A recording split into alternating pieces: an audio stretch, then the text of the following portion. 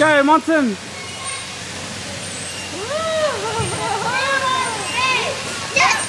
You did it, son. You want to go up again or have a rest?